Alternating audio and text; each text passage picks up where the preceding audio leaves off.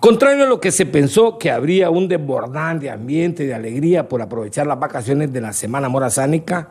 pues no son muchas ni siquiera las revisiones físico-mecánicas de los viajeros que tendrán que salir en excursión o quienes lo hagan en carros particulares, pues no tienen mayores problemas. Un promedio de 1.142 unidades que ya realizaron su revisión físico-técnico-mecánica y que ya solicitaron el permiso eventual de demanda extraordinaria y hay un promedio de 180 que no cumplieron con, eso, con ese proceso, entonces ellos tienen una oportunidad todavía hasta el día martes para que puedan eh, reparar cualquier desperfecto o cualquier anomalía que la unidad presentó y puedan obtener así el permiso eventual de demanda extraordinaria para realizar eh, dicha actividad en este periodo morazánico. Otro factor puede ser la condición económica económica del país. Que aun y cuando la fecha no sea la mejor porque en el Estado pagan después de cada 20 de mes, muchos seguirán al reencuentro con sus familiares y otros en busca del mar, del sol, río, montaña, entre otros.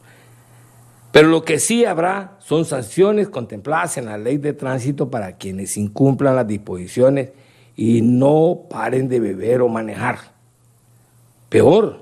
si andan con su familia. La Policía Nacional va a estar desplazada a su 100% de funcionarios, vamos a tener aproximadamente 500 puntos de control